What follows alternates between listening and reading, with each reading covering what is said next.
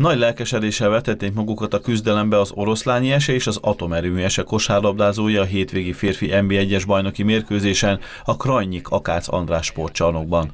Az első negyedben felváltva estek a találatok, egyik csapat sem tudott eltávolodni a másiktól, 10 perc után 23-20 volt az állás.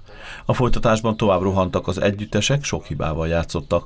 A paksiaknál Jackson triplái után járt a taps, míg odaát ebből vezérletével gyűjtögették a pontokat a hazaiak. A nagyszünetre 41-42-es eredménnyel vonultak a csapatok. A térfélcsere után 4-14-jel indított az ASE, a különbséget csak lassan tudta faragni az OSE.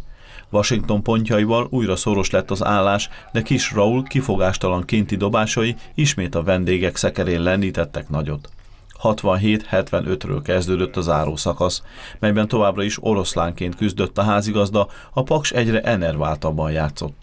A hajrában a Krasovec tanítványoknak sikerült megfordítani az állást, az Unicsgárda pedig vereséget szenvedett.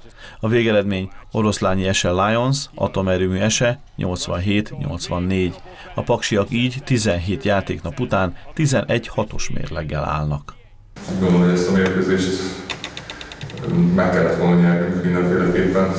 Vezettünk is 13-14 ponttal, ott sajnos hagytuk visszajönni őket. Általában mondani igazából, hogy gyakorlatilag elég megnyert mérkőzést tudtunk el